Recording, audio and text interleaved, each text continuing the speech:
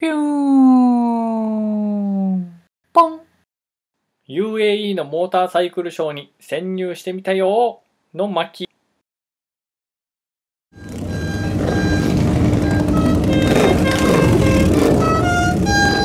はいはい、大です。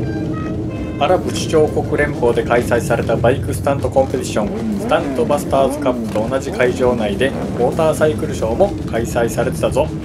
ドバイのあるこの国ではどんなバイクがあるのかちょっと覗いてみたよ。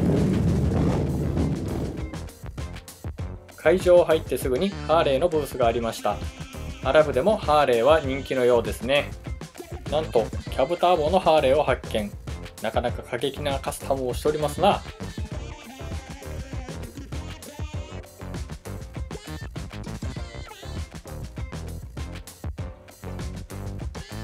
漫画の明らに出てきそうなハーレーも発見したよ。足回りやブレーキ。もう形がすごい原型なんてありません。このバイクにもターボがついていたよ。生かしとる。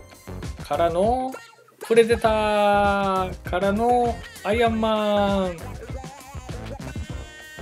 ベネリというイタリアのオートバイメーカーでクロームにも似たバイクがありました。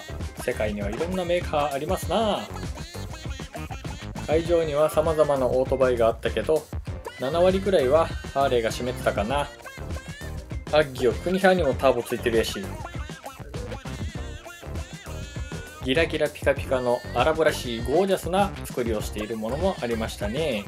シリンダーヘッドカバーまで金ピカですよ。